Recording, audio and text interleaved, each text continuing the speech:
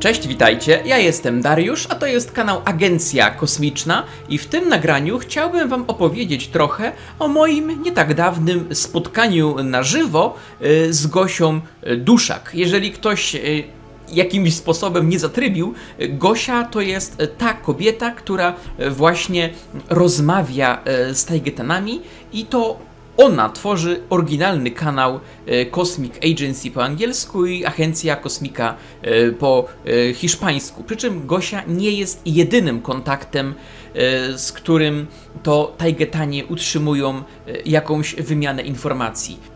Tajgetanie rozmawiają także z innymi y, ludźmi. Niegdyś rozmawiali z większą ilością, teraz z mniejszą, tylko to jest to, co zawsze akcentuje, a może na polskiej scenie nie jest to tak wyraźne, że to nie jest tak, że tylko Gosia ma kontakt z Tajgetanami i tam Gosia sobie może coś tam e, wymyślać, nikt nie udowodni jej, czy mówi prawdę, czy zmyśla. Nie, to jest większa ilość większa ilość ludzi, więc to chcę, żeby było jasne, a ja akurat spotkałem się e, z Gosią. E, Nim jednak przejdę do omówienia samego spotkania, e, chciałbym Wam powiedzieć tutaj z tak z tematów organizacyjnych, że ja założyłem ten kanał, polską wersję, czyli agencję kosmiczną. Mm, Ja montuję materiały, ja je publikuję, ja tym zarządzam, ale nie jestem w tym sam. Mamy całą redakcję. Y, Jedni ludzie zajmują się tłumaczeniami, inni nagrywaniami y, głosu, są lektorami, niektórzy są stałymi współpracownikami, inni tylko tak y, z doskoku. I mówię o tym dlatego, że kiedy mnie nie ma, kiedy wyjeżdżam na wakacje, tak jak na przykład właśnie teraz, to kanał nie jest bez opieki. E, Mamy także moderatorów, e, którzy nie są widoczni. Nie zobaczycie ich, ale będą pilnować komentarzy i tak dalej, więc po prostu to chcę wyraźnie zaznaczyć, że chociaż mnie widać, a lektorów słychać, ale w pracę nad kanałem zaangażowane jest y, spore, spore grono ludzi i wszystko się tylko będzie rozrastało, idziemy do przodu. To tak tylko dla jasności. Natomiast jak chodzi o samo spotkanie, to w zasadzie ja i Gosia mieliśmy teoretycznie okazję, e, by spotkać się e, jeszcze w listopadzie e, ubiegłego roku, jednakże spotkanie nie doszło do skutku. Ja nie dałem rady wtedy mm, dojechać. To był zresztą także okres wielkich korków, e, tłoków, bo to był no, listopad, to był okres e, gdzie ludzie wybierali się na cmentarze i tak dalej, więc to nie jest taki najlepszy moment, myślę, e, bardziej towarzyski, jak również ze względu na cały ruch. No i zimno i tak dalej. Jednakże teraz, e, gdy Gosia mi dała po prostu znać, że hej, będę w Polsce. Nie mówiła nic, musisz przyjechać czy coś w tym stylu. Dała znać, będę w Polsce. Więc uznałem, wow, super okazja. Wakacje, cieplutko, mam czas, chęć, e, fundusze, mogę jechać. Przypomnę, że ja jestem w tym momencie we Wrocławiu, a Gosia e, spotkała się ze mną w Elblągu. Więc urządziłem sobie małą wyprawę, pojechałem do Gdańska, do Malborka, nad morze i między innymi byłem w Elblągu, gdzie właśnie e, spotkałem się z Gosią na mieście e, w bardzo uroczej e, kawiarence. Przybyłem troszeczkę przed czasem, poczekałem sobie, no i zauważyłem, jak nadchodzi właśnie Gosia wraz ze swoją mamą. Ja wiedziałem, że Gosia przyjdzie z mamą, więc spotkaliśmy się w trójkę, no czwórkę, bo jeszcze e, była Bongo, e, czyli e, piesek Gosi, który zrobił na mnie bardzo dobre wrażenie, bo o ile koty akceptuje na wejście wszystkie, o tyle z pieskami bywa różnie. Natomiast Bongo robi świetne wrażenie i bez problemu da się lubić. Zatem spotkaliśmy się. E, Najpierw chwilkę siedzieliśmy na zewnątrz, ale mówiąc wprost, pogoda nie nastrajała do e, dłuższego posiedzenia e, na powietrzu, więc przenieśliśmy się do środka, no i zaczęliśmy rozmowy. I ktoś sobie może pomyśleć, cóż to za niesamowite jakieś informacje były tam przekazywane i tak dalej. Pierwotnie, przed spotkaniem, zakładałem, że a może zrobię tutaj na kanale ogłoszenie, że będę się widział z Gosią, y, wy mi podeślijcie pytania jakie macie, ja je zadam. Y, Chciałem to zrobić takie, takie wydarzenie, można powiedzieć, ale potem pomyślałem nie. To moje pierwsze spotkanie z Gosią i chcę, żeby miało wydźwięk bardziej ludzki. Spotkanie człowieka z człowiekiem. I też zastanawiałem się długo przed spotkaniem, od czego zacząć, od czego zacząć ten kontakt. I doszedłem do wniosku, że czy moja rozmowa z Gosią, czy gdybym miał rozmawiać ja sam z Tajgetanami, to zacznę od tego samego. I od tego właśnie zacząłem, że to spotkanie nie traktuję jako możliwości, żeby dobrać się do informacji, że jestem jak taka pijawka i mam po prostu okazję, by się dossać do źródła i traktować drugą stronę przedmiotowo, czyli tylko jako bank wiedzy, z której ja będę czerpał z której będę zasysał kolejne e, informacje. I oczywiście pytań miałem mnóstwo. Miałem przygotowany zeszyt z pytaniami, z którego robiłem użytek. Ale wszystko to miało wymiar um, z poziomu serca. To, to nie było takie suche. I nasza rozmowa y, była właśnie bardzo ludzka. Y, tak na dobrą sprawę, y, to, o co ja pytałem, czego chciałem się dowiedzieć, to no, raz, że chciałem poznać samą Gosię, bo pamiętam, jakie wrażenie na mnie zrobiła pierwszy raz, kiedy ją zobaczyłem w wywiadzie na kanale Porozmawiajmy TV u Aleksa Berdowicza. I powiem wam, że zrobiła niesamowite wrażenie. Mm, to, czym emanowała jej wyraz, można powiedzieć, energia. Ja jestem na takie rzeczy bardzo wyczulony. Ja zawsze byłem wyczulony na fałsz. I nagle ktoś, bo nie znałem Gosi, ktoś, jakaś kobieta w internecie e, udziela wywiadu i twierdzi, że rozmawia z kosmitami przez internet. Brzmi to niezbyt wiarygodnie, ale jednak przekonała mnie. Przekonała mnie Gosia wtedy na tyle, by sięgnąć po jej kanał i dowiedzieć się więcej, ponieważ to, czym ona emanowała, było prawdziwe. Mówiąc wprost, ja rozpoznałbym, gdyby tam był fałsz, ale go nie było. I to mnie bardzo zaintrygowało. I w samej Gosi było coś takiego nieziemskiego. No i jak oczywiście teraz wiemy, e, Gosia jest człowiekiem jak najbardziej, ale jej świadomość e, jest e, tajgetańska jej fizyczne ciało jako Taigetanki spoczywa w kapsule, natomiast tutaj poprzez tą technologię imersji zanurzenia jej świadomość jest w ciele na ziemi. I to czuć. Czuć, że to nie jest tak stuprocentowy ziemski człowiek, że tak to ujmę. I na żywo to wrażenie było e, również obecne, jak również ta prawda.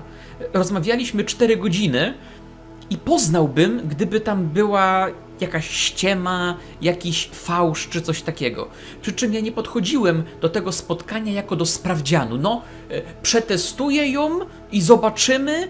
Mm, będę jakieś podchwytliwe pułapki zadawał? Nie, nie, nie, nic z tych rzeczy. Od początku do końca podchodziłem z otwartością serca i z pewnością, a całe nasze spotkanie tylko mnie w tym utwierdzało. To nie był rodzaj e, sprawdzianu. I tak, ale chciałem poznać Gosię jako człowieka i jako człowiek zrobiła oczywiście bardzo dobre wrażenie. Natomiast tematy rozmów, e, to co mnie najbardziej ciekawiło, to było to, czego nie widać. Bo każdy może oglądać kanał e, Cosmic Agency albo nasze tłumaczenia albo informacje od Taigetan na kanalu Sfaru Official czy tam Zael. Więc obok tego, e, co wiemy od Taigetan z poziomu wiedzy, informacji, bardziej mnie interesowało to, czego nie widać.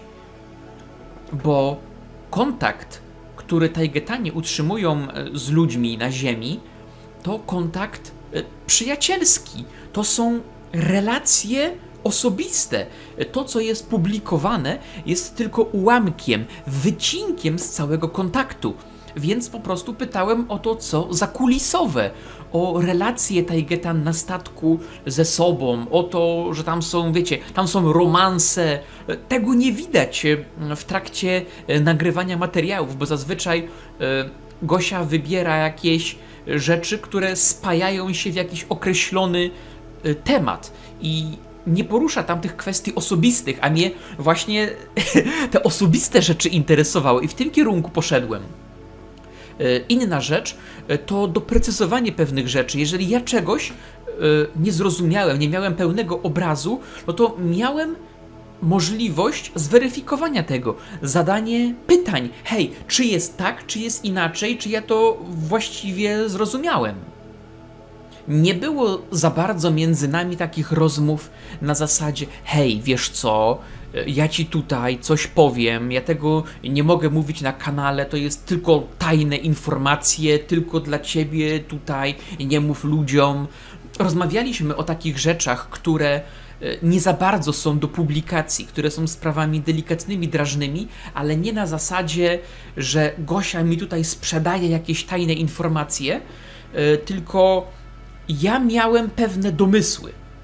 Miałem pewne domysły, pewne rzeczy gdzieś tam e, wygrzebałem i jak powiedziałem wcześniej, miałem okazję to weryfikować. Dlatego pytałem, ale nie są to jakieś e, tajności. E, miałem niektóre pytania o takie rzeczy, na które Gosia nie mogła mi udzielić informacji. Po prostu nie mogło, bo by to było jakoś naruszenie na przykład lojalności wobec Taigetan, bo obiecała im, że to jest na przykład tylko dla jej wiedzy. Więc e, to, o czym rozmawialiśmy, nie wykraczało poza ramy tego, co w zasadzie ja i tak już e, wiedziałem, i tylko było to potwierdzenie yy, czy ugruntowanie. A i tak czasami nie są to rzeczy do oficjalnej publikacji na kanale, głównie dlatego, że zaciemniałyby obraz spraw, gmatwały rzeczy, które i tak są skomplikowane. Tak jak na przykład sprawa z infiltracją, y, która, no to był, to był głośny przypadek, bardzo skomplikowany i uważam, że Chociaż dla kogoś, kto jest mocno zaangażowany w te informacje od Taigetan, to było ciekawe, o tyle dla kogoś, kto chce się po prostu dowiedzieć czegoś o pozaziemskiej rzeczywistości albo o perspektywie istot pozaziemskich na sprawy metafizyczne, to to nie jest do niczego potrzebne, bo to są sprawy zakulisowe i to jest tylko właśnie ciekawe dla tych ludzi, którzy siedzą w tym głęboko. A tak ogólnie dla tych informacji, e, którzy, które są przekazywane przez Taigetan, e, to nie ma to tak naprawdę znaczenia. Nic to nie wnosi do e, tego ogólnego zbioru wiedzy, więc jak mówiłem, wszystkie nasze rozmowy na dobrą sprawę odnosiły się do tej sfery osobistej, bardziej mnie to interesowało, bo te właśnie informacje z poziomu wiedzy macie w filmikach. A mnie interesowało to, czego nie widać w filmikach, czyli to, co jest za kulisami, ich e, relacje e, prywatne, kto z kim, gdzie, jak, po co, mm, bo to jest właśnie to, e, co udowadnia, że to są istoty żywe, czujące tak samo jak my. To nie jest żadna sztuczna inteligencja.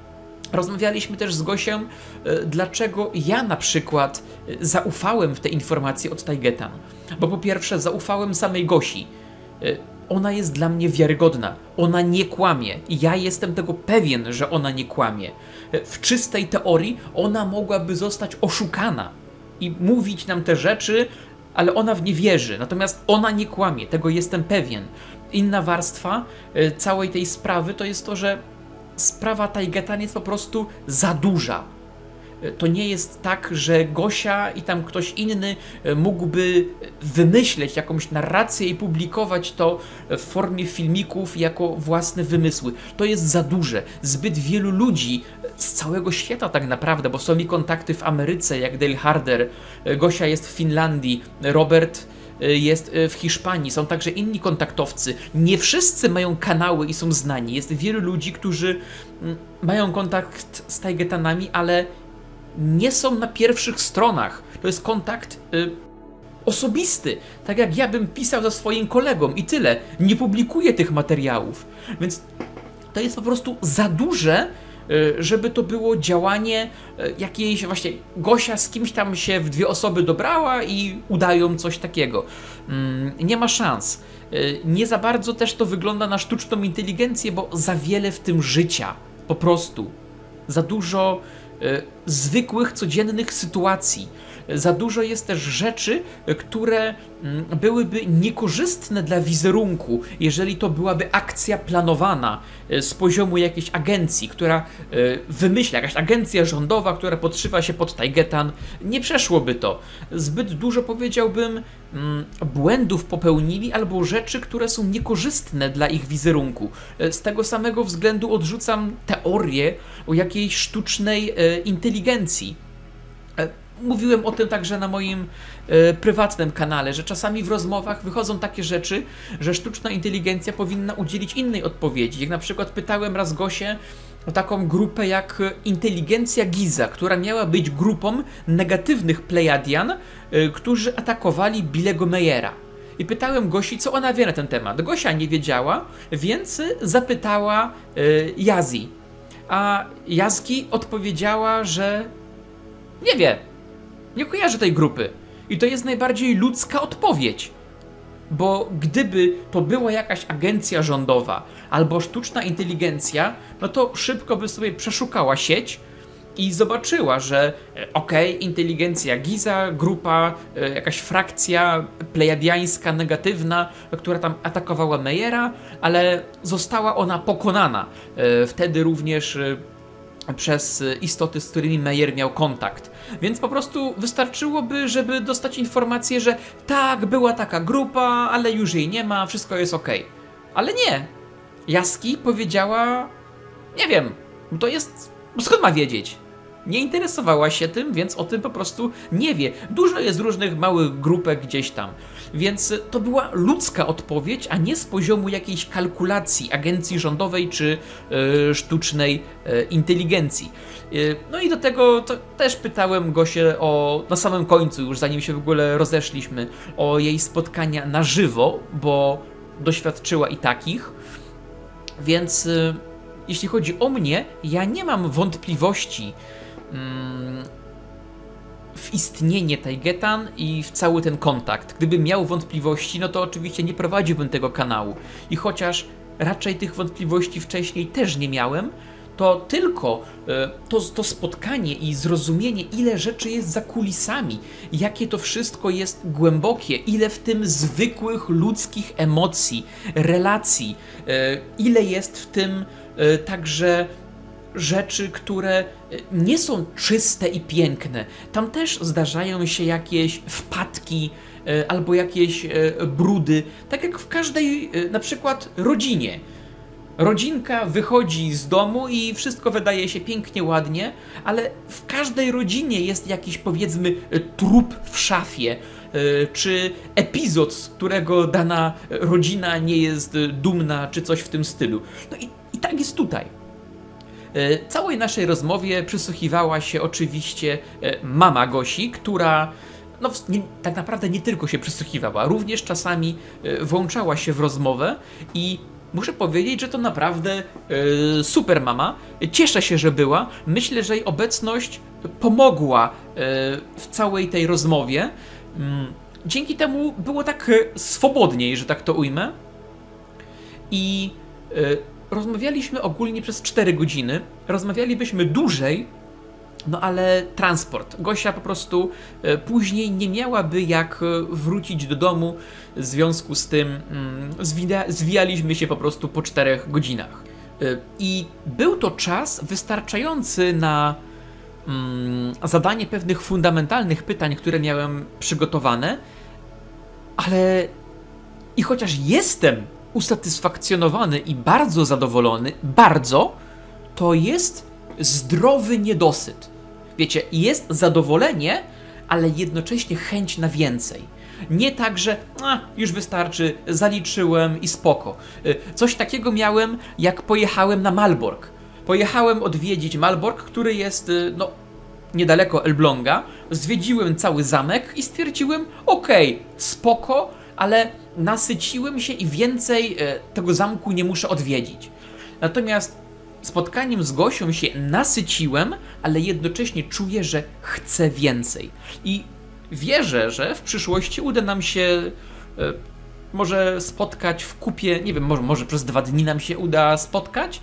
Może te spotkania będą dłuższe, bo zawsze jest o czym rozmawiać i każdy temat można niesamowicie, niesamowicie rozwijać. To było nasze pierwsze spotkanie na żywo, w związku z tym to było też przełamanie pewnych e, po prostu barier, jak człowiek z człowiekiem, e, dostrojenie się do siebie, dopasowanie, zrozumienie tej naszej dynamiki, więc wierzę, że to będzie szło tylko do przodu. Jestem chętny na takie kolejne spotkania, wierzę, że Gosia też i na pewno tak będzie.